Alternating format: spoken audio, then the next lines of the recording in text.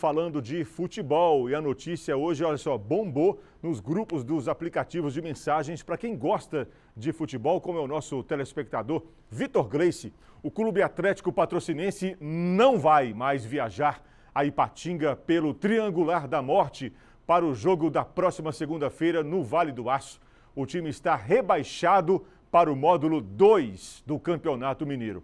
O clube foi multado em aproximadamente 30 mil reais e o time não será rebaixado para a segunda divisão do estadual, a antiga terceirona, como se pensava.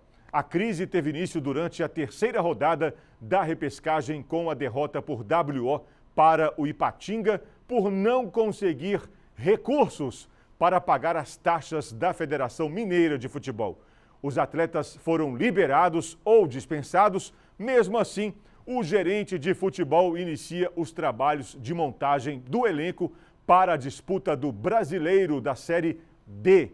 Cerca de 20 jogadores já estão contactados e devem ser anunciados nos próximos dias.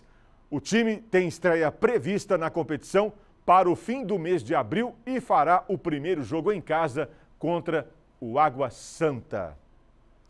Em reunião da Federação Mineira de Futebol, foi decidido que em todos os jogos da fase de repescagem do Campeonato Mineiro, envolvendo o Clube Atlético Patrocinense, será lançado na classificação a vitória do clube adversário pelo placar de 3 a 0, bem como os três pontos respectivos não será necessário o comparecimento da equipe adversária, bem como da arbitragem ou qualquer outro profissional aos jogos contra o Clube Atlético Patrocinense, que apenas constarão na tabela por formalidade.